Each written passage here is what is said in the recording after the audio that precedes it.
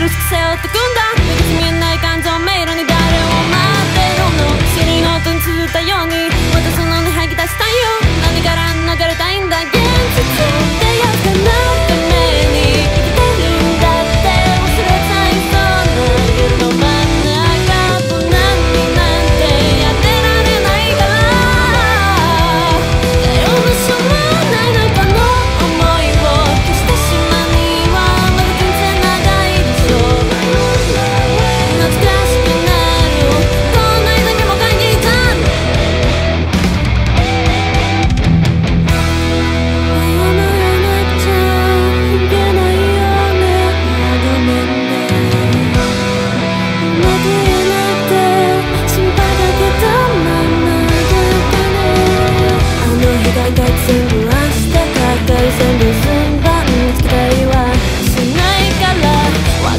つすようにそっと目を落としたんだ。見たくないものまで見えんだもん。いらない忘れちょっと初めて聞く発見どっち？2回やったら友達だってお師匠はやめてね。高いハートが苛立つように。体の中燃えてるんだ本当は期待してんの現実ってやつかなって目に。